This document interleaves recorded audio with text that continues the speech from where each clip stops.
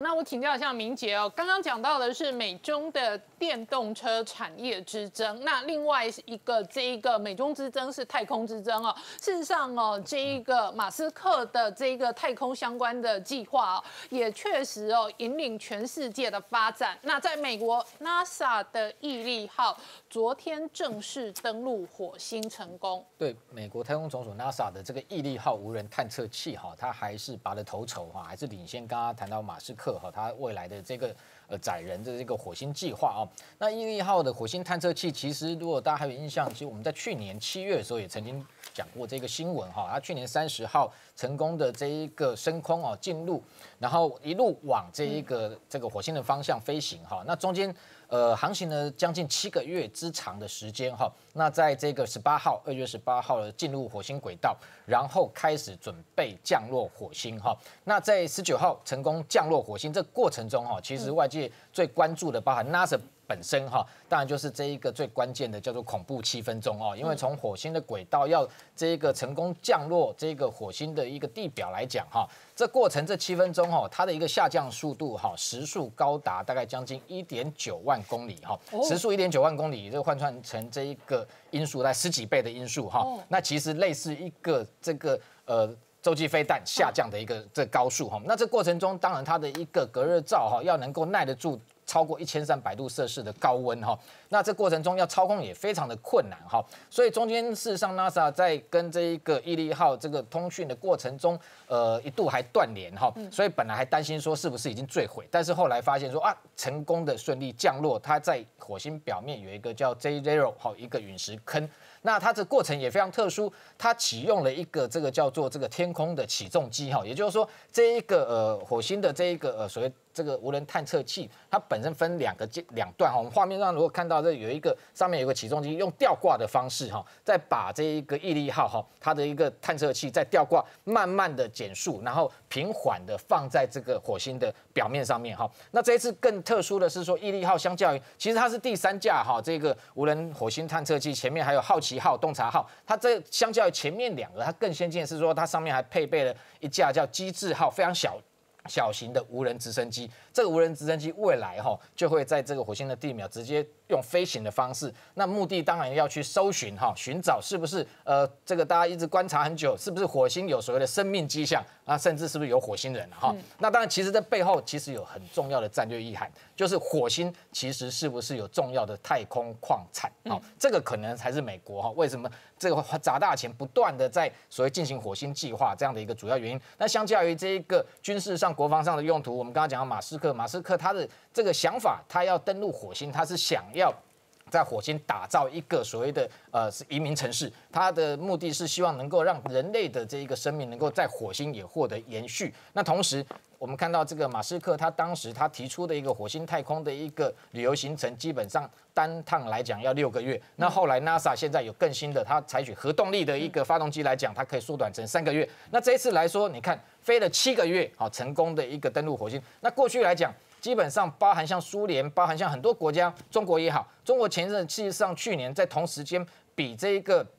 美国 NASA 更早发射，早个几大概一个星期的时间，它的天问一号哦，火星探测器、无人探测器也这一个升空。不过目前来讲，它本来预定二月十一号要进入火星轨道，不过目前没有看到有任何的讯息出来。中间是不是有任何的意外发生，我们不知道。那它本来它是比较慢，它要绕火星轨道，预计是五月才要着陆哈。但是不管怎么样，目前来讲，美国是唯一用探测器能够成功登陆火星的国家，所以在太空的技术上，它绝对还是完完遥遥领先哈。不管是俄罗斯或者是。这一个中国啊，那这样我们刚刚谈到，就是说这个火星探测除了要找所谓的火星人哈，其他的生命迹象之外，重要的一个太空矿产的一个探勘，也是它背后的目的。那事实上，近期我们看到，呃，有传出说这个习近平打算要打出所谓的稀土牌，哦，是不是有可能用这样的方式来影响这一个美军的一个武器生产？那甚至有这个不同的媒体就报道出来说，哎，F 三十五逆中战机因为可能中国开始要限制稀稀土出口给美国，那导致它已经暂停所谓的全量生产哦。那这个部分我们分两个地方讲，第一个就是说所谓的太空矿产哦，当然因为目前来讲，所谓的稀土啊，稀土基本上它就是十七种呃比较罕见的化学元素哈，像譬如说钛啊、乙啊这些用于高科技武器上面，包含像感测器、雷达上面一个很重要的关键因素哦。那过去来讲，一九八零年以前，本来美国是。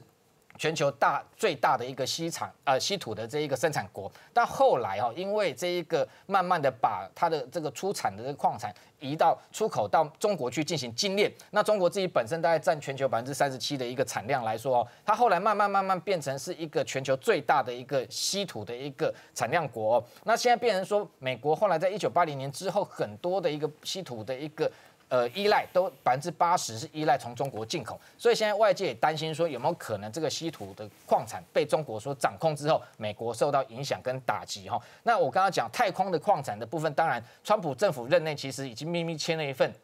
在太空要进行所谓的探勘，好，或者是开采所谓的稀土矿石的一个文件，所以也鼓励美国的太空部门啊，积极的在这个太空中寻找不同的星球，有类似稀土的，是不是有替代的方案？所以这个也是要避免这个遭到中国垄断哈稀土的一个重要的一个关键。那在这一个自己这个呃国际的部分，基本上来讲，美国它自己本身的替代能源，它自己加州的这个稀土矿场，从去年二零二零年也开始重新启动哦。同时，包含它寻求国际的澳洲也好，好还有像非洲马拉维都有相对相对的这个。替代的来源哈，不过这个部分哈还涉及到近期我们外界观察到说，这个在东南亚，包含像这个缅甸的军事政变，怎么会跟稀土也扯上关系哦？原来背后除了地缘政治的角力，中国的把政治的无形的手深入影响之外，背后也是一个战略物资的一个角力哦。特别是缅甸，其实如果依照美国的这个呃矿务局，它公布了一个。呃，相关的一个出口报告来讲，缅甸的一个产量来说，它还占了全球百分之十的产量，所以我们外界不知道说，哦，原来缅甸手中握有这么重要的。一个战略物资，所以让美中在这个地方都加大力道，要准备哈抢夺这一块，呃，就是说避免被对方所控制哈。那当然，这样的一个所谓的稀土牌到底会不会真正出手？其实美国的 F 三十五战机这个部分，其实在去年来讲，它年产已经高达一百二十三架，但是的确五角大厦先前有宣布暂停全量生产，但是是不是跟稀土的获得来源有关？其实不尽然，因为它主要是有一个战斗模拟系统。